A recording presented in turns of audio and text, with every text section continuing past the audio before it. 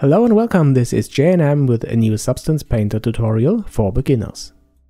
We start with this cylindrical model that we created in the previous tutorial with Blender. The mesh is unwrapped already and I export this now as FBX. For exporting I'm using a template and I'm just exporting the mesh. There's no armature so I disable this. The name of the FBX is Metal Wood I don't know if I will add wood and metal, perhaps I will use different materials in Substance Painter, but anyway, now I export this as FBX and start Substance Painter.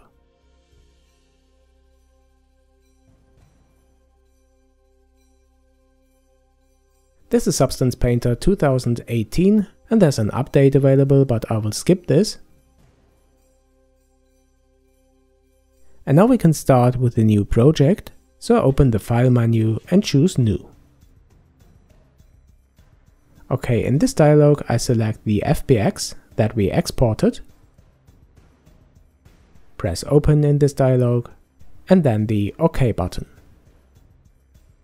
And here we can see the model. It has a default material, it appears in white.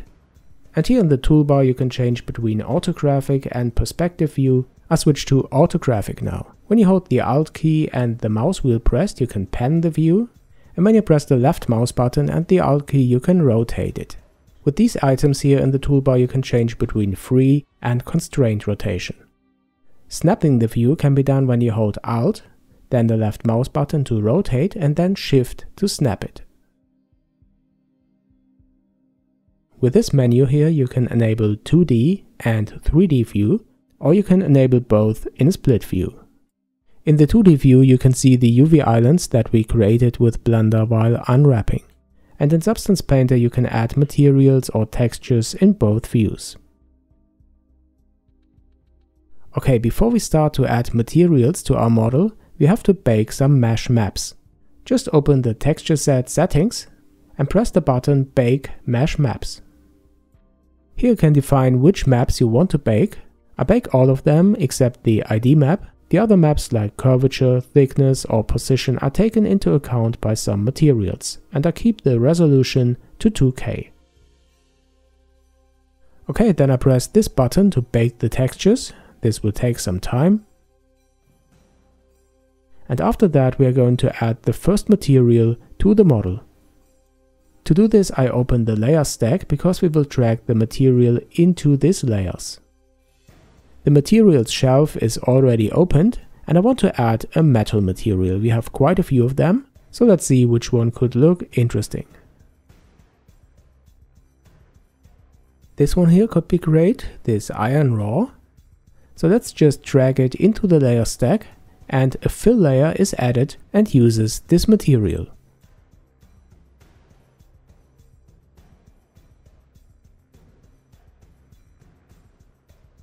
Alright, looks good, but now I want to add a second material and I want to add it to the middle part of the mesh. So now I'll show you a technique on how to do this using masks. So the first thing I do is to drag another material into the layer stack above the first one. Okay, this looks nice, but the UV scale is a bit too small. When I increase this, I increase the tiling of the texture. Okay, a size like that looks quite nice, but the problem is that it is added again as a fill layer. And this fills the whole layer and therefore the whole mesh. But we just wanted to add it in the middle of the mesh.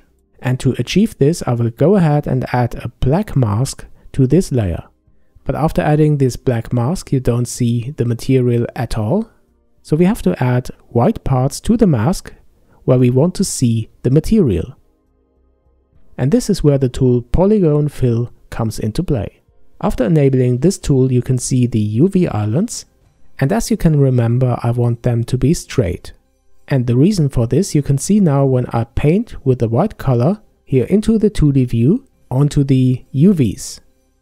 The material is visible now for these parts and the texture is nice and straight as the UVs are. So this is how to use the polygon fill tool. The texturing looks already quite good, but it is too clean, there is no dirt, which is not realistic.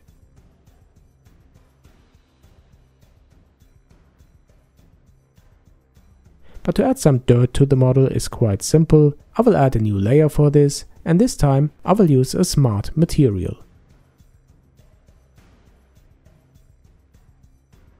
So let's switch to the smart materials shelf and then I type in dirt to search for dirt materials and I use the first one which is called dirt and I just drag it again into the layer stack.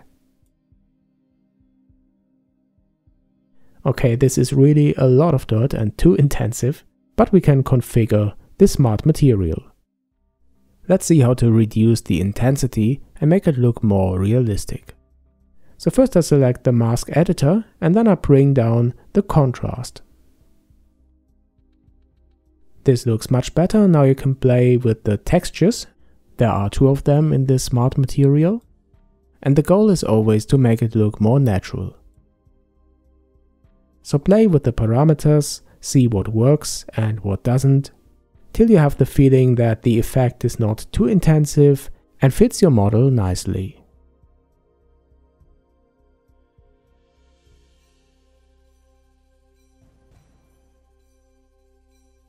Alright, this looks quite good, but I don't want it to be too intensive here in the curvature, so I bring this slider a bit down. You can also change the randomness of the textures. Sometimes you can create nice variations with this. But I'm still not happy with this because I don't want this dirt to be all over the model. So I will again use the mask technique and add a black mask to the dirt layer. And again the black mask is applied and we don't see anything of the dirt. So to bring it back again, we have to add some white parts and this is the first time we are going to use brushes and paint some parts in again using a white color and an artistic brush. I increase the size of the brush by holding down the control key and the right mouse button and then I move the mouse. And now you can make some parts visible again of the dirt by painting in a white color but I decrease the flow of the brush so that I'm able to add these with a kind of low pressure and very carefully. Just brush slightly over your model and add the dirt where you want it to be.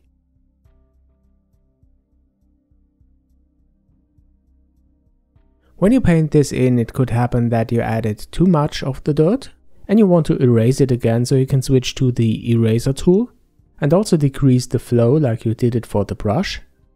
And again adjust the size and then I erase the parts for which I have the feeling that I added too much of the dirt. Okay, now I continue this process till I'm happy with the dirt material. Okay, that's it. The model is textured. What you can do in the last step is to improve the environment. The display settings, for example, increase here the opacity value for the environment to make it visible and decrease the blur a bit. Okay, looks good. Shadows could also look nice. I enable them but I decrease the opacity. And then I enable some post-processing effects, for example anti-aliasing and a bit of glare, but don't overuse this. So turn down the luminance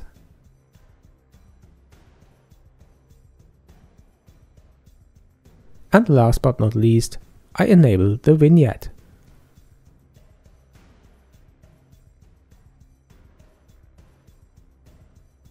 Alright, I think that's a quite good result for 8 minutes of work. And I hope you got the idea following this tutorial on how to add materials, textures and masks to your models using Substance Painter. It's a very powerful tool and in my opinion the most professional on the market for texturing. What you can also do, you can see this here, is to change the opacity value of a layer, and in some cases you can achieve really interesting results.